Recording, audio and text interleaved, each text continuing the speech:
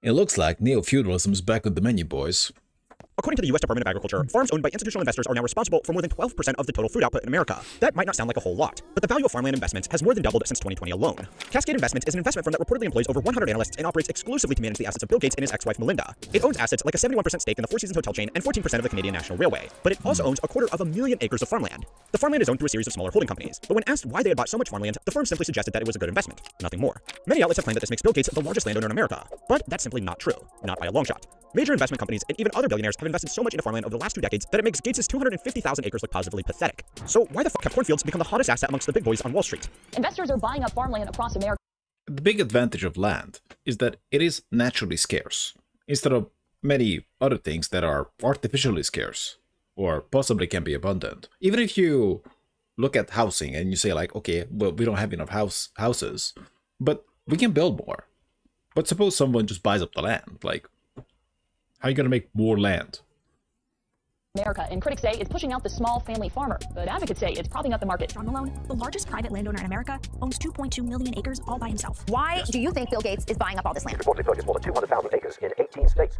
Farming has typically been done by families who own their own farm and work on the land themselves with or without the help of additional labor during harvest. Despite the rapid growth of financial investors into farmland, most farming is still done this way, but exactly how much is really hard to tell. According to the Economic Research Service of the U.S. Department of Agriculture, just over 60% of farmland is owner-operated, and the remainder is rented to the farmers that work the land. This doesn't tell the full story though, because while owner-operated farms may evoke imagery of small-time family farmers, it can include institutional operators that also happen to own the land. Similarly, some families rent out their land to external operators either because they can't productively use the land themselves, they don't have enough land to achieve economies of scale, or because they would rather the more passive rental income stream than stressing over a harvest. These agreements can vary from state to state and individual to individual. Some agreements could be a little more than a handshake between two local landowners, and plenty involve corporate lawyers representing the interests of an institutional agricultural real estate investor and another team of lawyers representing the interest of an institutional food production company. The final thing that makes it hard to assess just how much farmland has become a financial asset is that most farmers will incorporate even small farms as a business, because that's exactly what they are. So, even small hobby farms will have effectively the same business structure as a massive commercial farm, which is part of a portfolio of farms owned by a family office from a major city. It's these very conditions, though, that have made farming so attractive to big investors for four reasons. The first is that it's an amazing opportunity to consolidate and scale.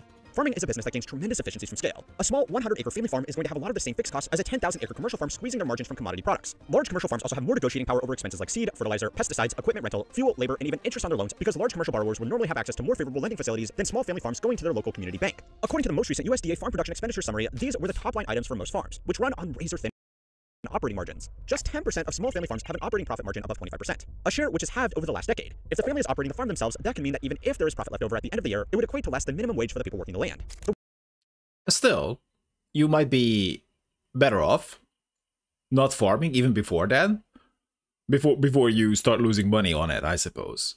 But this means that increasingly people will be enticed, at least, to sell their farm.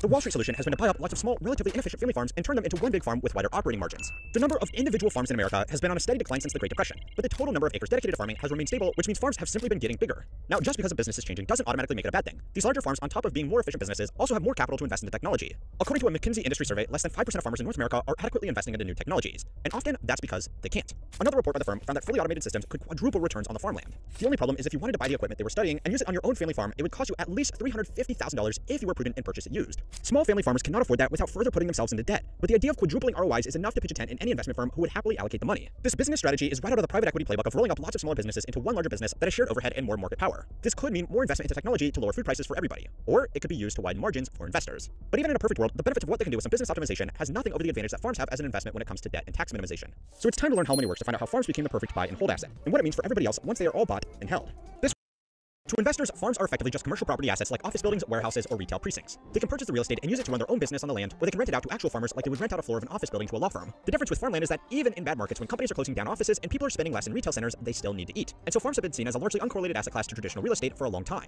Ray Kroc was a man who scaled the McDonald's business from a small family operation into the multinational company it is today. The success really started when an associate of his, Harry Sonneborn, told him that he wasn't in the burger business. He was in the real estate business. The restaurants that sit on top of the land are just cash flow generators, but the real money was to be made in owning the land itself. Or at least that's how the story goes. Today, McDonald's only owns about 45% of the land it operates on worldwide, as smaller restaurants like those found inside shopping malls, train stations, and airports have become just as common as the traditional standalone operations. Farmland is really the same. Investors don't care about farming. They are only interested in the value of the land itself. The profitability of the farm that operates on the land just helps to pay the loans they use to buy it. And that's the second reason why farmland Even if you don't grow anything, you can just own the land and rent it out. And at that point, owning the land is just a straight up plus, right? I mean, whoever is growing is the one taking the risk.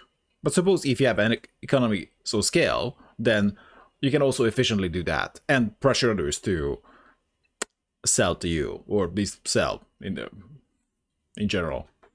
Farmland has become so popular amongst large investors. In another trick from the private equity playbook, the thing that has made farmland so attractive is that it's a business and real estate rolled into one, which makes it perfect for a leveraged buyout. An investor with $100 million could buy just one single large farm and happily rent it out for a modest ROI. Or they could take their $100 million and use it to effectively put down payments on five farms and then borrow the remaining $400 million to have a portfolio of land five times as large. With a bit of cost cutting and some investments into technology, the farm should be able to cover the repayments on this debt, and now the investors could stand to profit five times as much if their land appreciates in value by the same amount. This is effectively Yeah, the, the third point that, that I really brought up, sure, it's business and real estate in one, but also it is naturally scarce. So, unlike houses, which you can build more of, suppose you you buy up the land, like what what would really happen? I, mean, I know this seems far fetched possibly now, but suppose like give it like 10 to 20 years and the land gets bought up.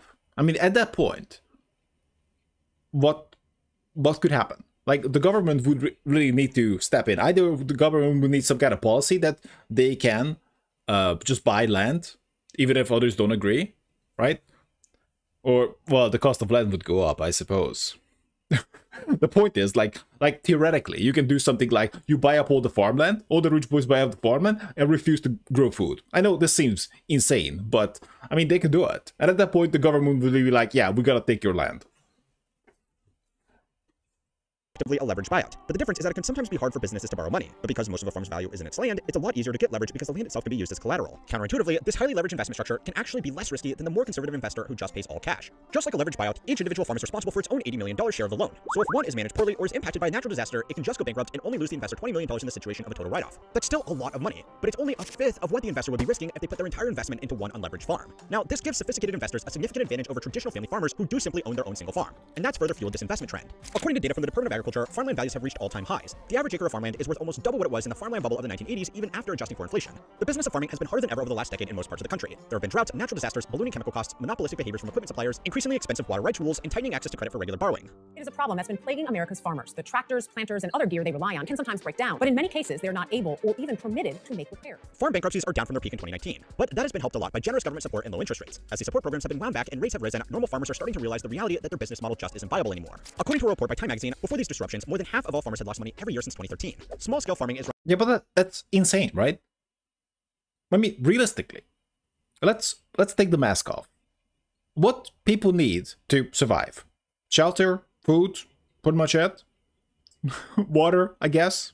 I mean, you can argue that like uh, some healthcare too, but like that's just to survive for longer, I, I, I suppose. But the point is, like, if it's not profitable to grow food, and what kind of game we are playing?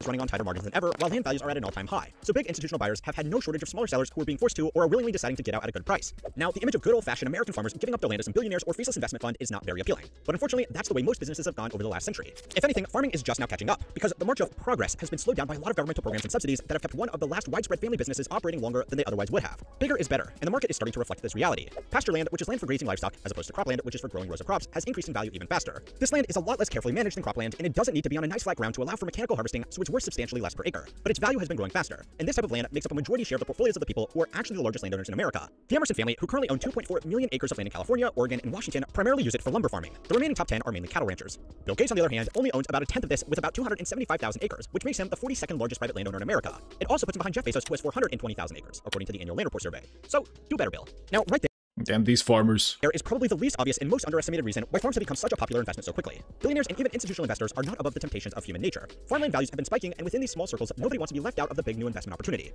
Yeah. Also, the more the prices rise, the more the prices rise, right?